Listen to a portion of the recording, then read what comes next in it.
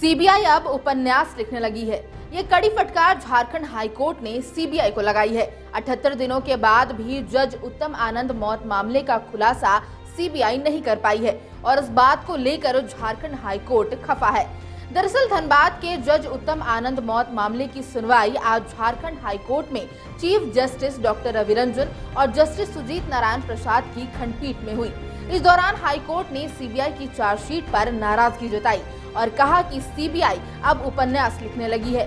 CBI की chargesheet में सिर्फ़ ये बात सामने आई है कि ऑटो ड्राइवर लखन वर्मा और सहयोगी राहुल वर्मा ने हत्या के इरादे से जज को ऑटो से टक्कर मारी थी। इस मामले में सीबीआई के कार्य प्रणाली को लेकर झारखंड हाईकोर्ट ने मौखिक टिप्पणी में कहा था कि इस केस में पहले भी जहाँ खड़े थे, आज भी वहीं खड़े हैं और सीबीआई एक प्रोफेशनल एजेंसी की तरह जाँच ही नहीं कर रही है। इतने बड़े केस का ऐसा हाल होगा तो पूरे देश में क्या संदेश जाएगा? फ़िलहाल इस मामले की अगली सुनवाई 12 नवंबर को होगी। गौरतलब है कि मामले को लेकर सुप्रीम कोर्ट ने भी संज्ञान लिया था और इसकी जाँच जल्द से जल्द करने के निर्देश दिए थे।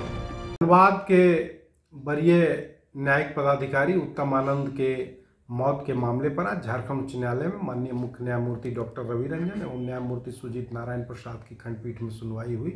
माननीय खंडपीठ के समक्ष सीबीआई के द्वारा अपनी अद्यतन रिपोर्ट पेश की गई थी, जिस पर कड़ी नाराज़गी जताते हुए माननीय खंडपीठ ने कहा कि ये उपन्यास के जैसा मोटा होता जा रहा है, लेकिन इसमें अभी तक कुछ निकल कर नहीं आ रहा है। साथ ही उन्होंने गृह सचिव को इस मामले पर एफएसएल और एफएसएल लेबोरेटरी के मामले पर गृह सचिव को अगली सुनवाई के दौरान जवाब देने को कहा है।